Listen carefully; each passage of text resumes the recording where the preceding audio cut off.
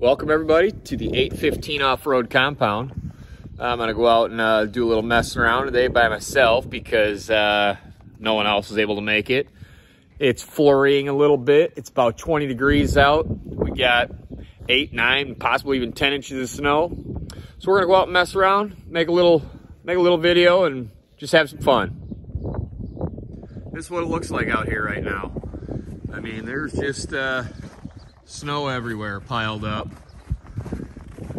And uh, I'm gonna head out there to the pond, see how that's looking, being that we had all kinds of uh, rain right before the snow and then the temperature dropped and all that. So it had a good solid three to four inches of rain, slush, everything on top of the ice. So we're gonna go break through a few more drifts and see how the ice conditions are. We got uh, we got the machines in here ready to go, but just me for today. So I'll see what I can do. Well, I just got out to the pond.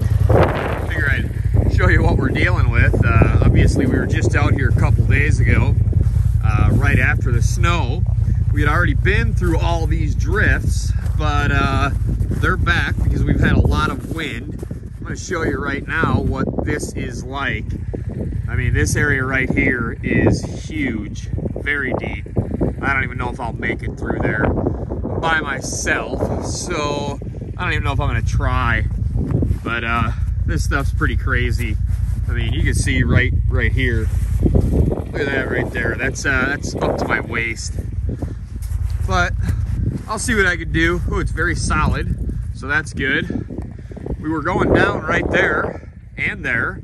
That's all very drifted over. Oh man, this is uh, this is rough. This might not be a great idea being out here by myself, but at least all the slushy stuff on the bottom is frozen. I mean, it's it's rock solid, so that's good. That's a nice straight drop off there. No drifting on this end, obviously, because the wind was coming from the other side. So we'll we'll see how it goes. I'm gonna give it a whirl. I'm gonna try and get through a couple of these spots over here.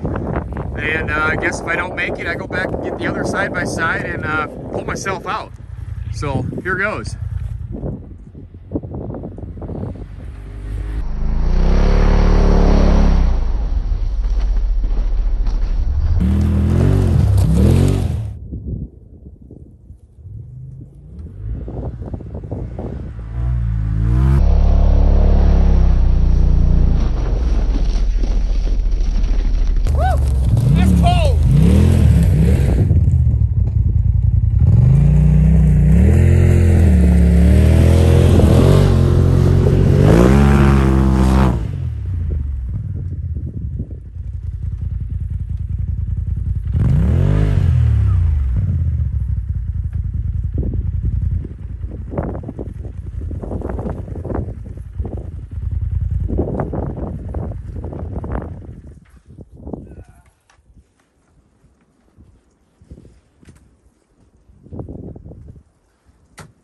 quite make it.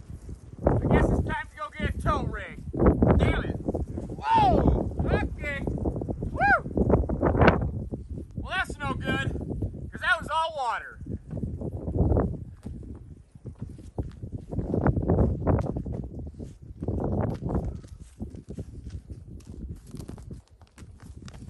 That kind of shortens up my day because uh, now my left foot is completely soaked all the way down.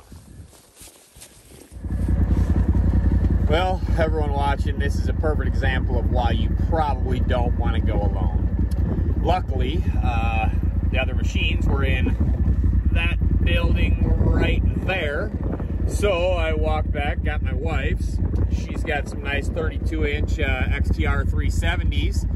And uh, I'm sitting back out at the pond and I'm going to attempt, oops, sorry, I'm to go attempt to get mine out. There's mine buried right there. Uh, didn't make much uh, much progress trying to go the other way, but at least I do have another machine to go attempt to pull it out. So I had to go back, get the tow strap, the other machine. I'm gonna attempt to pull that out right now. All right, ladies and gentlemen, uh, Obviously, this is why you probably don't want to go out alone. Not too fun. I'm trying to shoot video and pull out a stuck side by side and not break through the ice like I already did. So we'll see what I can do by myself. Uh, otherwise, I'll probably have to call in some reinforcements. But here we go.